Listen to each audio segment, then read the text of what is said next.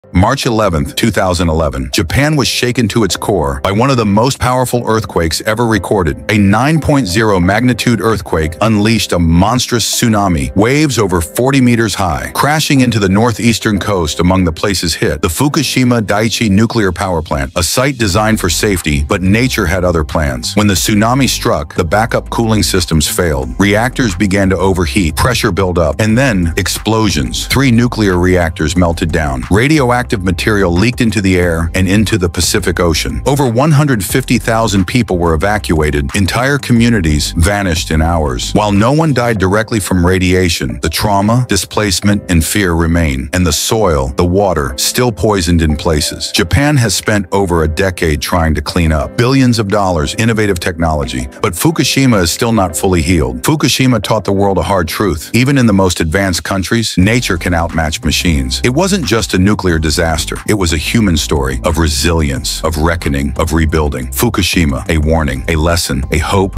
Like, share, and subscribe for more real-world stories.